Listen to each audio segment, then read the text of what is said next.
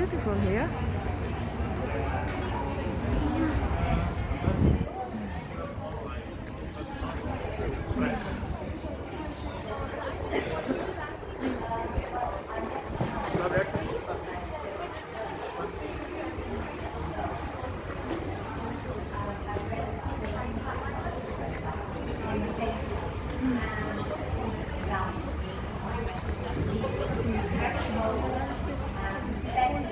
Hmm?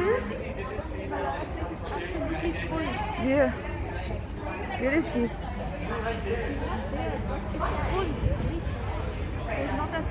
just articulate them so well. And I, you know, I personally will never forget that uh, image of the shards when I think about people leaving their homelands. It's really, really beautiful.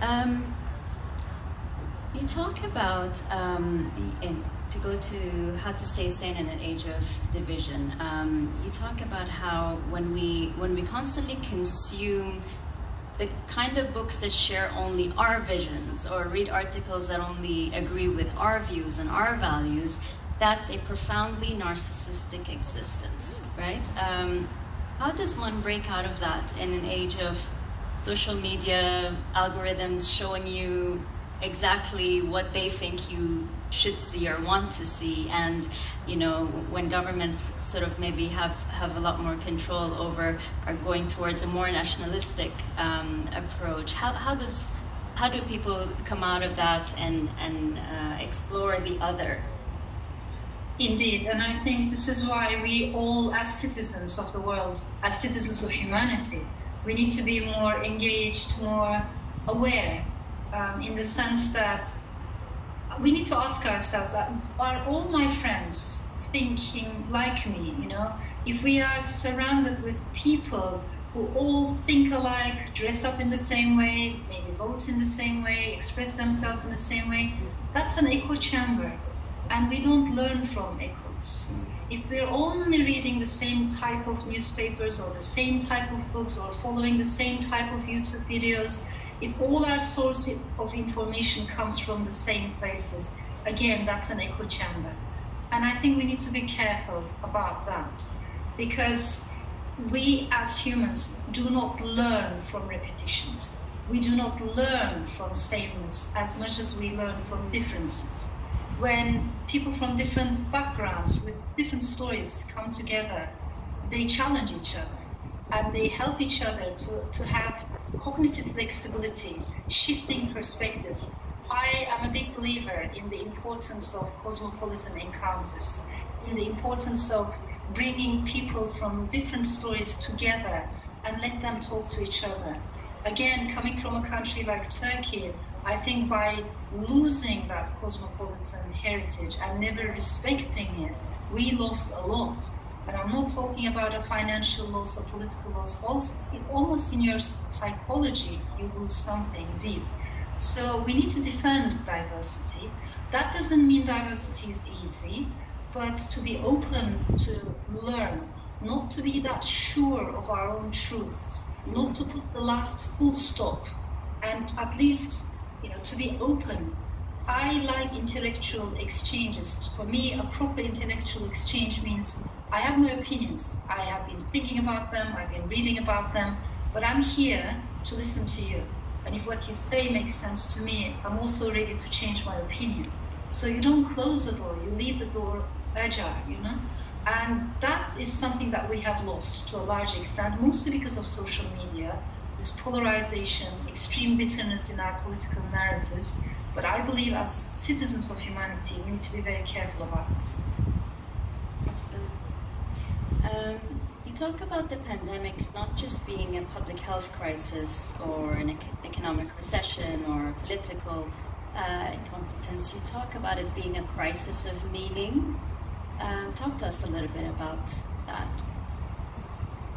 Think until almost recently, uh, quite recently, there was this arrogant view of the world that divided the entire globe into almost two camps, into solid countries and liquid countries.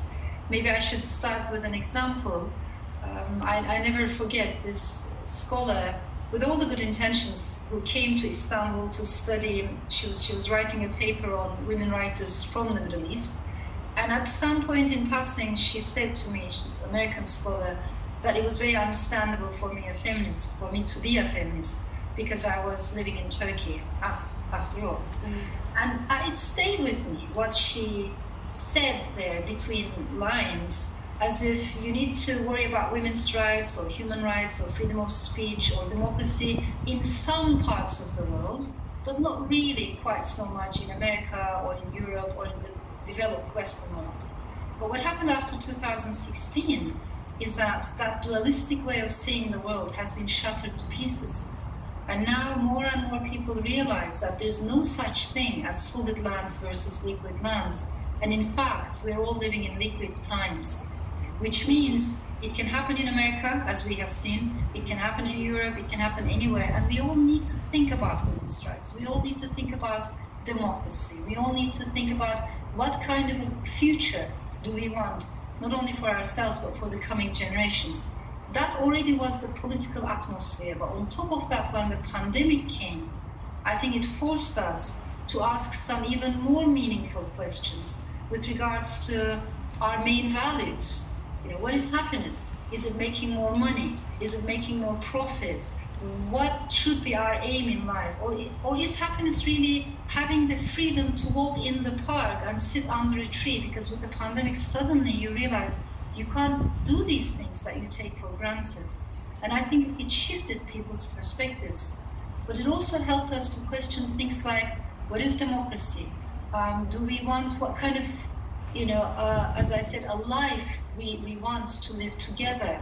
Um, we also need to understand that the pandemic was hailed, not hailed of course, but it was called as a great equalizer in the sense that here in the UK and elsewhere we have been told that because pandemic recognized no distinction, no differences, we were all in this boat together.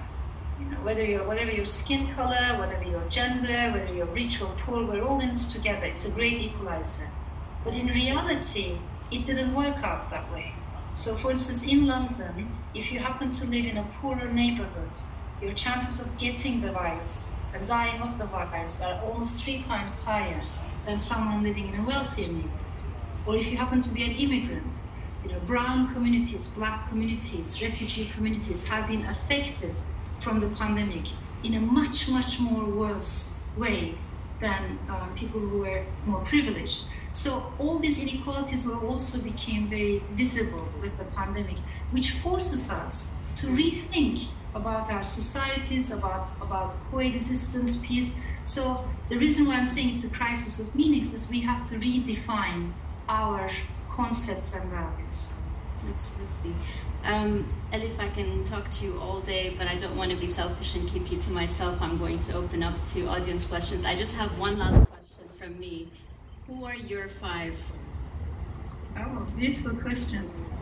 Um, I, I mean, there are there are friends who mean so much to me, who are very close to my heart. But among my five are also books. I hope this is not a very strange answer. Maybe because I was a single child, you know, raised by a single mom. I had a very lonely upbringing. Books really, really became my friends from an early age onwards. So I have very dear friends I, am a big believer also, as I said, in sisterhood, but within my five, I would also definitely mention books.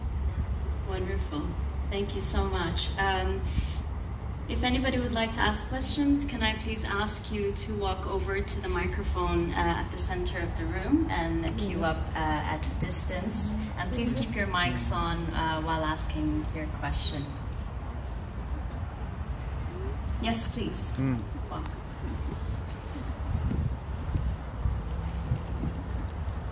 the microphone is in the back. Oh.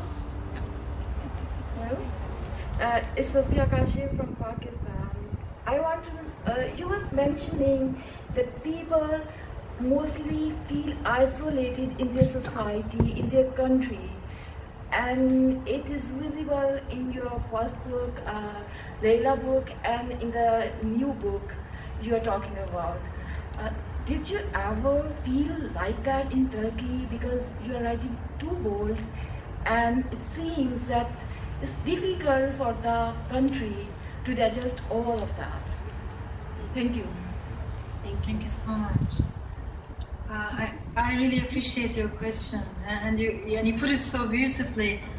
Did I experience myself similar feelings? Of course, um, and lots of reasons.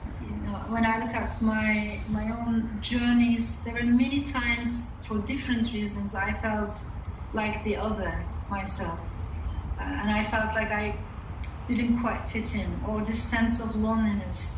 It came with me. Um, and, and maybe you feel a bit like an insider outsider in the sense that emotionally close enough to love the people, understand the culture, but also enough of an outsider to keep a little bit of a cognitive distance. And I think that cognitive distance is important. It's like you want to talk about a painting, you take a step back.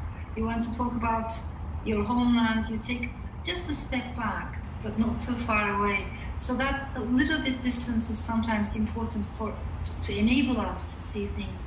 Also, perhaps writing in English, we didn't get a chance to talk about this. I write in both English and Turkish. Sometimes you don't need to physically travel, but traveling within languages, commuting between languages, also helped me to think about my own culture more closely you know, I started thinking about words that can't be translated from one language to another very easily.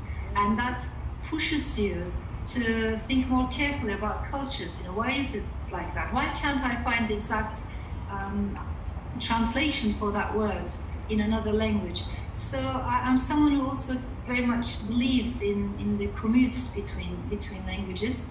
Um, that was a little bit misunderstood in Turkey when I started writing in English first. Some people reacted to me and they said, she can't be called a Turkish writer anymore. Uh, but th- that's not how my mind works. I think we can dream in more than one language. We can write fiction in more than one language. And sometimes I'm always amazed to observe women who express their anger in one language, immigrants, you know, who choose to express their love in another language. I, I, I pay attention to such details uh, every language gives us another zone of existence. I'm not saying it's easy. I think as immigrants, we're very much aware of the gap between our minds and our tongues. You know, we always want to be able to say more and we end up saying less. That gap is very frustrating, but it also pushes us and, encourages us to think harder, work harder. So that commute is also another space where I can express my moments. Yes, please.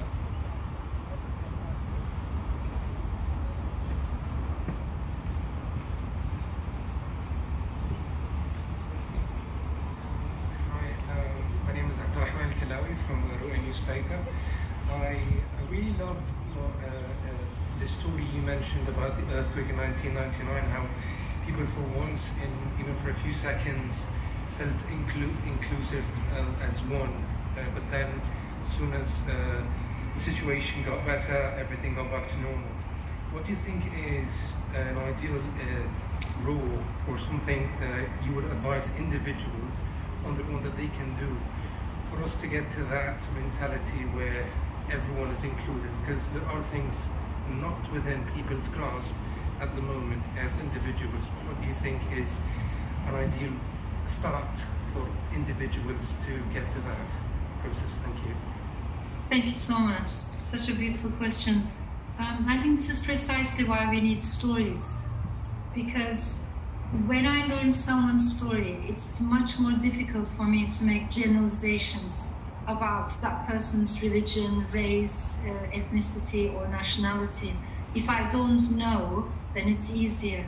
Also, I think we need to be careful about numbness. The numbness is something that worries me a lot. I write about it a little bit in this booklet in, in, How to Stay Sane. Um, if there's one emotion that, that scares me, that is the lack of all emotions. It's indifference, it's apathy, it's numbness. I am very interested in the memoirs of survivors, of you know, people who have gone through the darkest chapters in human history. They always warn us about indifference. If we stop caring about each other's stories, if we stop caring about each other's pain, um, and if we regard people as only numbers, then there comes the threshold when it makes no difference whether it's 5,000 refugees who have lost their lives or 500,000, whether it's this number of people who died in one part of the world or that number of people. Numbers do not stay with us. We do not register, we do not feel them. It's only when I know people's stories as individuals, then I realize the people who I regarded as my other are not my other at all. You know, they're my brother, they're my sister. I am the other too. So then all those categories start to dissolve. But for that to happen, I think we need stories and we need multiple stories so that it becomes more difficult to generalize people into easy categories. Wonderful. Yes, please. Uh, my question is uh, related to your novel 40 Rules of Love. In 40 Rules of Love, you have uh, chosen voiced bilabial for your various chapters. By choosing the voiced bilabial B, you have let go all the unvoiced consonants to start your novel. Of course, you uh, said in the beginning it's a spiritual reason uh, why you chose B as the each of your chapters to start. By doing that, have you limited yourself by not using voiceless consonants to start your chapters? I, I, am terribly sorry, the, the, the voice uh, quality, I couldn't hear all of your question very well. I just, Um, just one, uh, the, you have used voiced bilabial B to start all your chapters in the 40 rules of love.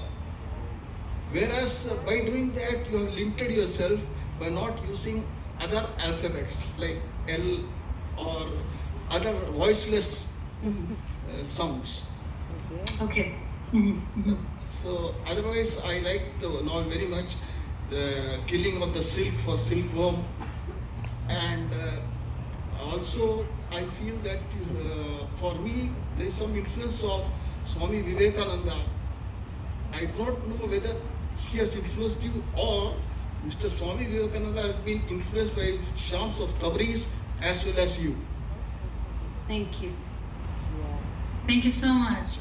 Um, I, would love to talk about 40 Rules of Love, but I always feel hesitant um, when people ask me uh, more layered questions about, um, you know, why I did, I, I wrote it in a certain way because sometimes it's it's such an irrational thing, you know, when you are in the middle of a story.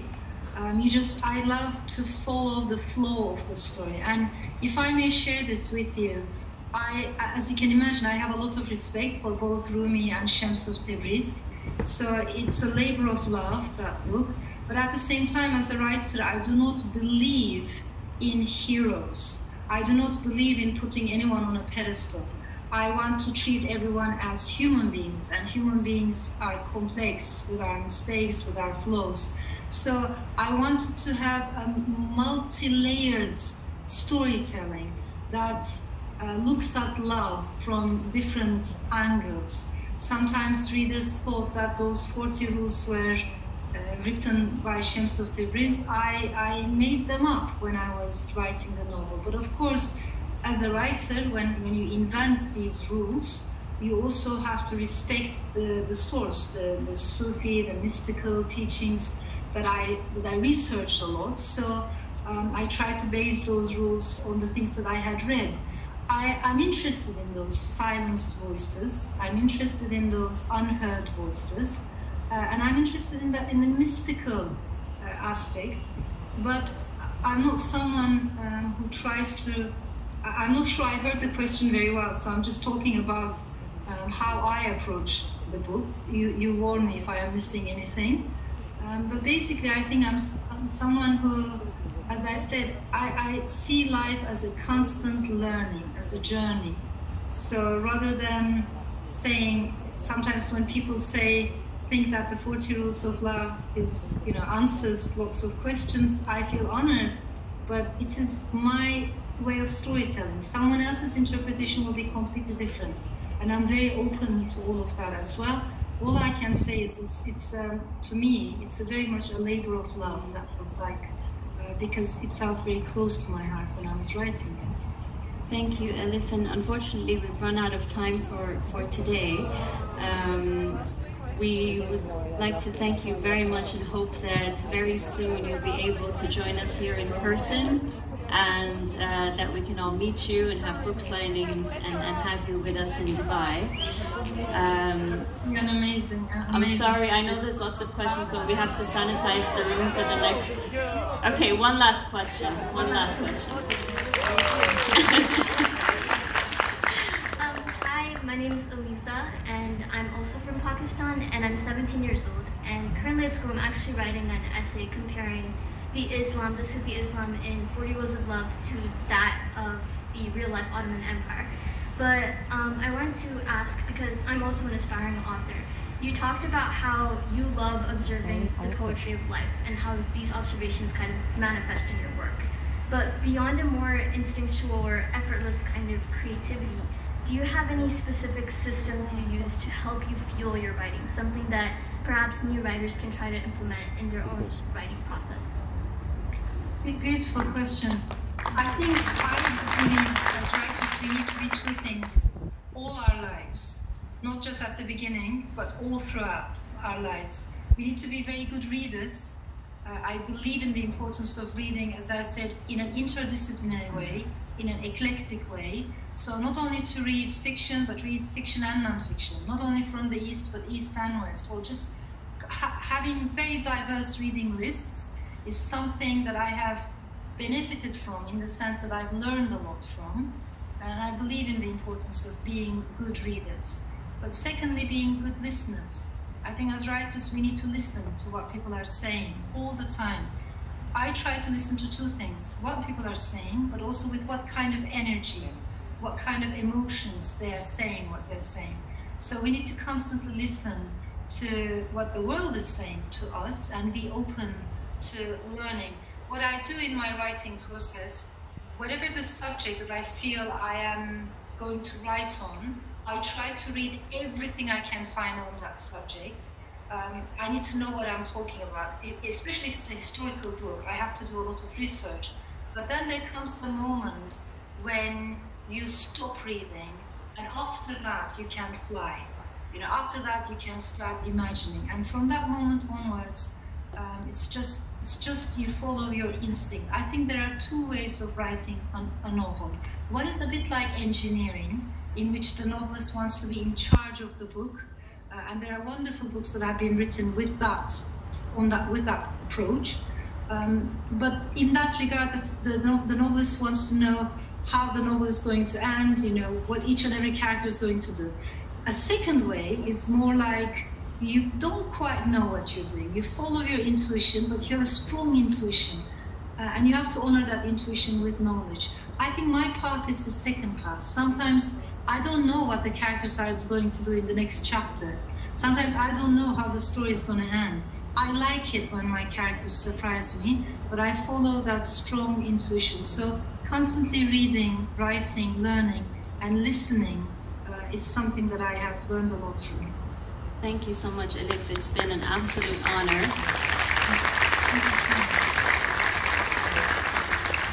And we look forward to welcoming you in person. Uh, I'd like to thank our title sponsor, Emirates Airline, our